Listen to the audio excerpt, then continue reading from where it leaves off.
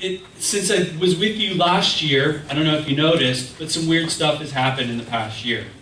Uh, it, it has, I've joked, I'm glad that God hasn't taken me up on this joke, but I've, I've joked about it a little bit in the fact that if I had known three plus years ago when God was finalizing in my heart that I was to plant a church here back in Southwest Florida, I, um, if I had known that a worldwide pandemic was going to come, I probably would have balked, right? I would have said, no way, you're crazy.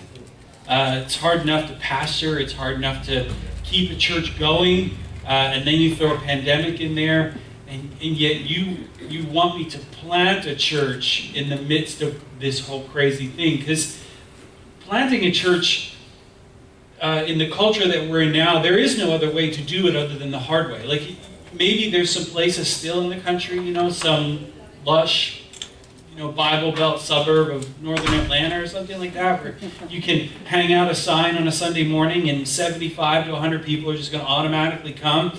But it doesn't work that way in Southwest Florida, uh, much like it doesn't work that way in the Northeastern United States. Uh, people just aren't naturally bent to go to a church, and uh, they're not bent to try something new, especially.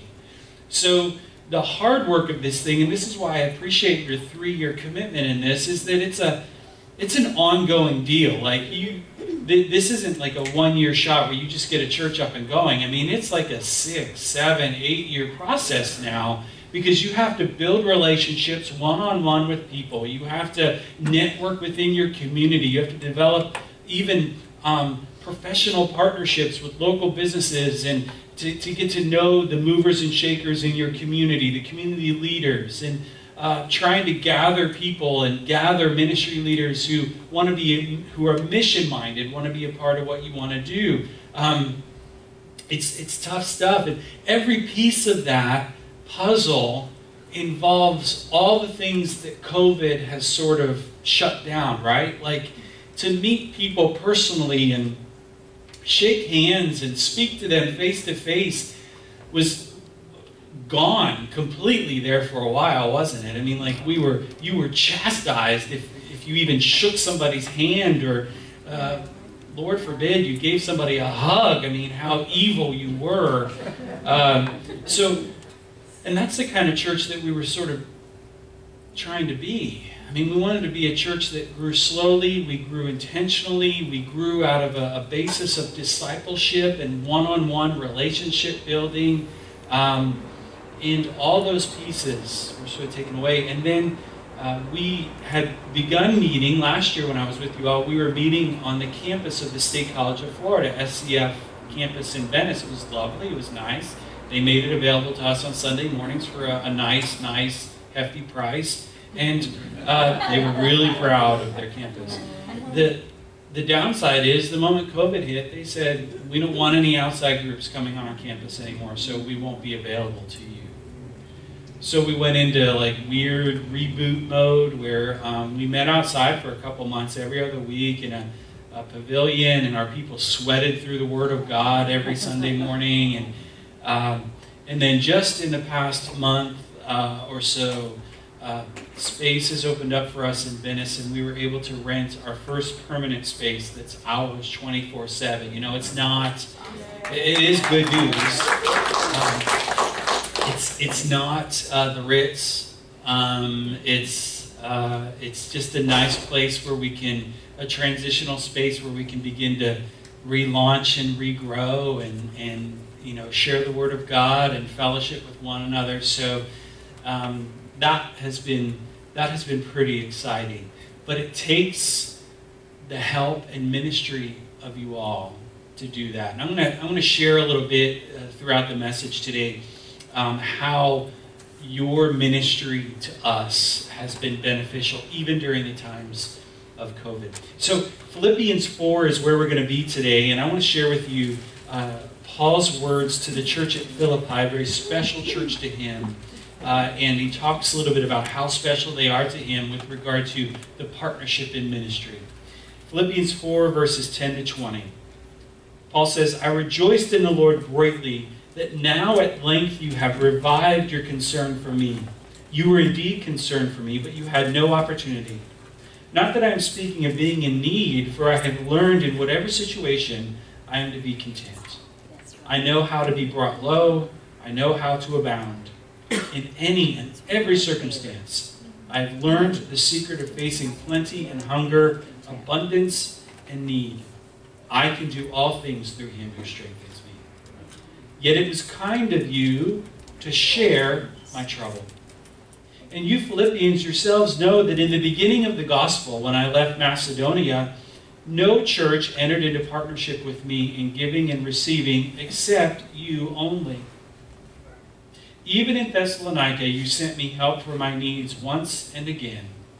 Not that I seek the gift, but I seek the fruit that increases to your credit. I have received full payment and more. I am well supplied having received from Epaphroditus the gifts you sent, a fragrant offering, a sacrifice acceptable and pleasing to God, and my God will supply every need of yours according to his riches and glory in Christ Jesus. To our God and Father be glory forever and ever. Amen. I'm going to share with you four values that I see in this partnership. And my prayer is that it's not just uh, a giving relationship, but that you receive, as Paul talked about, as a part of this partnership as well. The first value in this partnership is this partners understand the ongoing work of missions and that it's hard. A partner like you all understand that the work we're doing in missions is hard.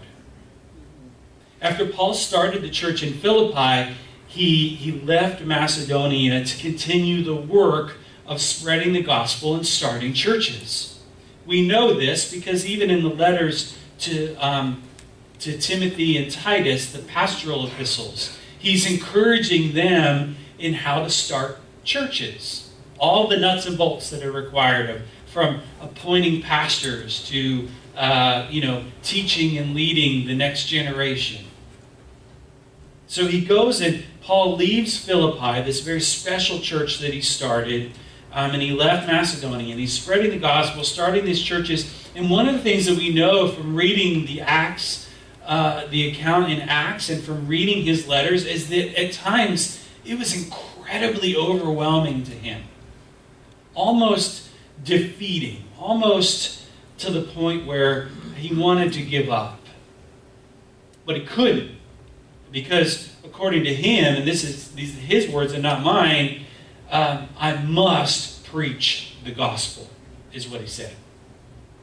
It was lonely for him at times. We know that he he spent time on the road. We know that he spent time in prison cells without anyone else. So what he had to do was to call upon the recollection of those people who had poured themselves into him and had given him. This is why the church of Philippi was just incredibly precious to him. We know that the work was defeating at times. It, what brought Paul joy, and we read this in Philippians, and we just read it, it wasn't simply finances. It was the fact that they were sharing, I love this phrase, sharing in his trouble. They were sharing in his trouble. Gang, when I came in here this morning, several of you just came up and immediately you remembered me. You shook my hand. Some of you said, you know, to heck with COVID, and you, you hugged me. And I so appreciate that because it tells me that I'm not just a distant ministry that you fund, but that I'm a person that you believe in.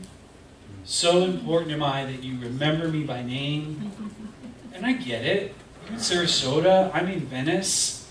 The stuff that I'm doing isn't entirely practical to the way your lives are scheduled and some of the things that you're doing. I understand, but you haven't forgotten me. And you understand the work that I'm doing and how difficult it is. You, you share in me and you share in my trouble. The word for trouble here is a Greek word thlipsis. It means hardship, the Philippian church was full of people who had brought they had brought to Paul not simply their purses, but they brought their hearts to Him as well. Gang, I, I beseech you, I'm so thankful to have a $1,000 to put towards our church work. But nothing would mean more to me than to know that some of you put me on your regular prayer list and that your heart becomes one with mine and that you share in our affliction, not just financially, but that you share in our affliction personally. Um, the, the Southern Baptists have been amazing this year to my family. Uh, not just individual partnerships like this one, which is amazing, but your pastor was just talking about the cooperative missions that you participate in. Do you know that when our congregation stopped meeting because of COVID, Southern Baptists sent my family, not just the church, sent my family. And this, this has never happened before. I planted now two churches. This has never happened before. Sent my family a check for $1,000. No, no, it gets better. The week, a week after that, the Florida Baptist Convention sent my family a check for $1,000. And then three months later, Southern Baptist sent my family a check again for $500. Uh, and all of it because they know that there's so much that's being juggled on the plate of a church planter. The last thing they wanted to feel was that they were alone right now. That their burdens were being shared by however many million Southern Baptists we have across the country. You're part of that in a very real and practical way. Like for us, when you work really hard, you know, this is an example of a hardship, if I can just be transparent. I was telling your pastor this morning, when you work really hard to put a children's ministry together for the first time, and God brings like four or five little ones, you know, and as a church plant, you get super excited no church wants to be full of just, you know, no offense, but no church wants to be full of just bifocals and gray hair. Like you want, as a man who wears progressive lenses, you, you want you want young people in your church, don't you? I mean, you want to know that you're developing the next generation of followers of Jesus. And the, the, the prime age to reach people for Christ is that like 5 to 18. That's, that's the prime age to reach for Jesus. So when, when you have young people in your church, you're just like, hallelujah. So a family comes and you get excited and you, you love on them and you, you pour into their children and then COVID comes and they leave and you find out they left because they felt like there was another church that offered more for their children than your church offered for children.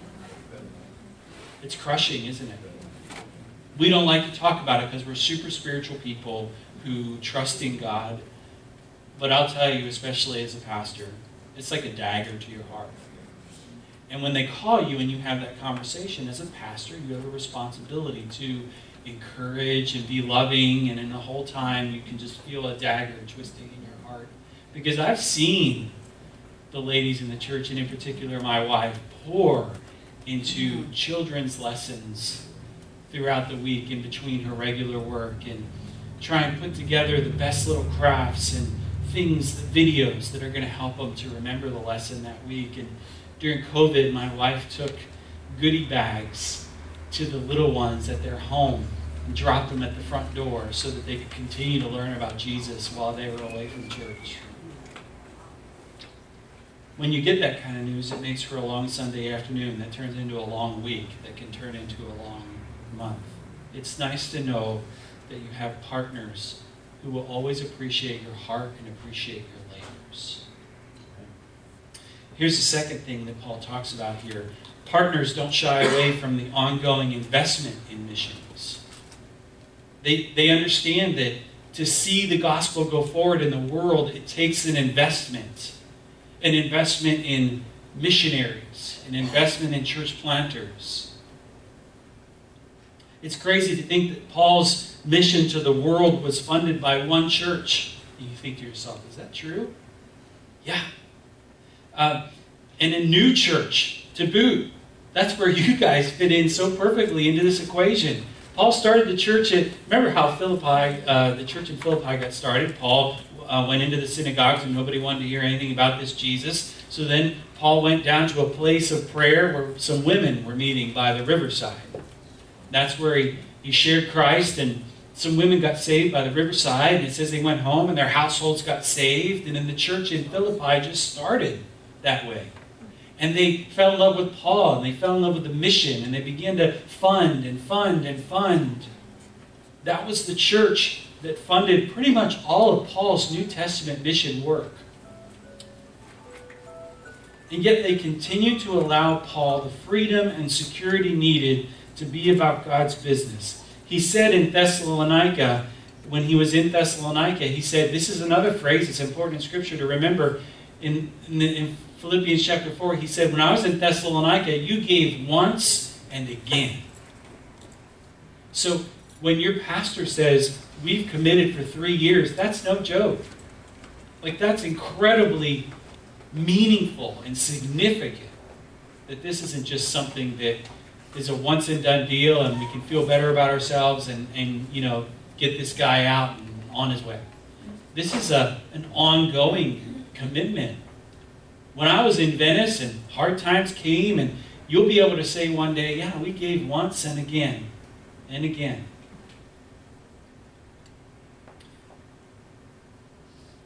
2 Corinthians 11, Paul writes this in verses 8 and 9. I robbed other churches by accepting support from them in order to serve you, he tells the Corinthian church. uh, he was not happy with them at the time, and he wanted them to know that there were other churches that were making his ministry to them possible. He says, And when I was with you and was in need, I did not burden anyone. For the brothers who came from Macedonia supplied my need. So I refrained and will refrain from burdening you in any way. He wanted them to know that there were churches who got it. There was a church who understood. The church of Macedonia, that's the church of Philippi, they came and gave so that Paul wouldn't have to burden the people that he was trying to minister to. That's you. That's you. It allowed him to not confuse the gospel message with the need for money and resources. Last thing I want the people of Venice to think, the people who are lost that we're trying to reach as a new church, I don't want them to think that we exist to get into their wallet. That's not the gospel. The gospel is that Jesus came to save and that it's a gift. It's free. The gospel is free. So you and your maturity and your heart are making that possible. That's the value of partnership. It keeps me from having to sweat how much money do people give who come to our church, and I can focus more on how can I reach them for Jesus and how can we raise them up in maturity in the faith. Someday they'll give. I believe that if we teach the scriptures correctly. The third aspect of partnership that's so significant. Partners in mission know that you can't outgive God, right? I tell my children this all the time. They get so sick of hearing it. The Lord, this is out of the Psalms, the Lord is the owner of the cattle on 10,000 hills. How could you possibly outgive the guy who owns all the cattle? We can't relate to that now because we're not an agrarian society anymore. But the guy who owns all the cattle owns everything. And I love Paul's reminder here that he's not the only one benefiting from their giving. He's not the only one that's benefiting from their giving. The church at Corinth is benefiting from their, from their giving. He says the church at Thessalonica is benefiting from their giving. He's benefiting from their giving. But he's not seeking the money from them. This is a great phrase as well that you need to highlight or focus on. It says, I'm not seeking the money, but rather the fruit. And then he says this that increases to your credit. Isn't that cool? Like someday, someday, this church is going to stand before the Lord, right? And they're going to, you all are going to give an account, just like I'm going to give an account, and my church is going to give an account. And one of the things that's going to stand to your credit is your support of the mission work where I'm at in the southern part of the county. You think, oh, that's not that significant. Here's how it's significant. Uh, COVID scared me to death as a church planter. When it first started coming on, you know, I, I could care less. If, if I get sick and the Lord takes me home, that, that's His business. I, am okay with that. I'm, I, the Lord and I are cool. I made that deal with Jesus when I was 13, right? Like, you died for me. I have nothing to offer you. That's a pretty sweet deal. Uh, and I know that I'm a screw up. So if you can help me overcome my screw ups and you can still love me the way I am and give me eternal life, I want that. And God was good with that. So if something happens to me because of COVID or I get sick or Lord help me, I walk out here and get hit by a scat bus. I'm cool. but, but, there were a whole new set of challenges that I was unsure of and how to overcome. I could not outthink this one. I was not creative enough to overcome a worldwide pandemic. And I had no idea what to do. So the only thing I could come up with is look for people who are hurting and try and find ways to love them practically. That's all I could come up with. And a lot of times, honestly, it was financial because that's what people were dealing with primarily. Other than sickness, people were losing jobs, weren't they? They, they didn't know where their future was going to take them. So, because of your giving, we were able to do some things in our community that um, blew people away. We were saving on rent because, you know, that was taken away. Uh, so we um, decided to just say, you know what, we're going to take some of our budget, we're going to take some of our rent money, and we're just going to start blessing people. And we have a lady in our church that's an executive administrative assistant for the president at um, Venice Hospital. And they had just got done furloughing like a whole bunch of their uh, maintenance and cafeteria staff. And these people just got notices one day. And guess what? Within a few days of that, our church showed up with $2,000 in grocery cards. And everybody in our church hand wrote cards to each person who received a grocery card telling them that we love them and that uh, better days are ahead and that Jesus loves them. And then I got word from one of the principals of the local elementary school as they were beginning to ramp up their preparations that um, she was scared that um, art class wouldn't be able to happen because typically the only way they can make art class happen is if children share supplies. Well, I, I mean, the last thing I want is like a, a six-year-old, you know, doing this, and then handing my kid a tube of paint or glue, or even better, you know, the kindergartner who licks the glue and then hands it to your kid. Like, it's just not the right day and time to be doing those kinds of things. She said,